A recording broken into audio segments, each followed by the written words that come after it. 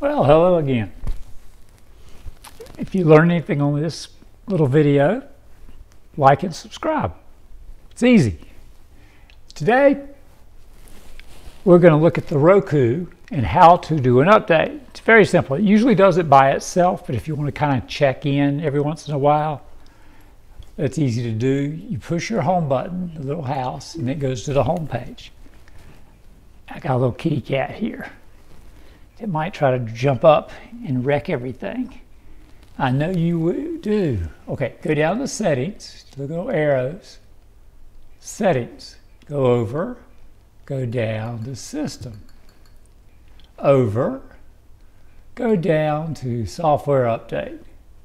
Click on that in the middle button, check now, and we'll check to see if there's any updating software. The CW is updating. And that's it. Okay, we're done. Home app, home app again. There we go. And that's that.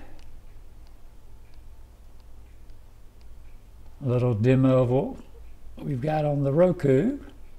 We also have an Apple TV. It says you can turn your TV off. Push the middle button. Black kitty cat jumps up and TV goes off.